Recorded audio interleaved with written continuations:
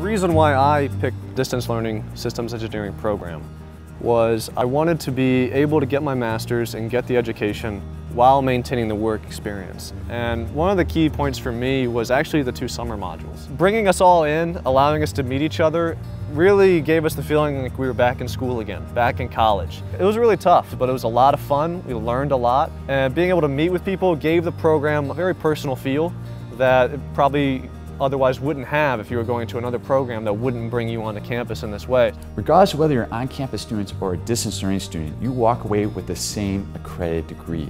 If you're getting a Cornell degree, we want to make sure that you are entering the workplace with the skills and talents that someone from Cornell should have. So we want to make sure that our distance learning program is a culmination of all of our best educational experiences tailored just for the distance learning audience. If somebody was looking for advice on whether or not to follow my path, I would say that they should definitely consider it. So it's a little bit different from a normal program. It's a different style. You're gonna have to work hard. When you go to a top five institution, you're gonna have to work. But it's enormously rewarding. Honestly, I don't think you're gonna find a better program than this.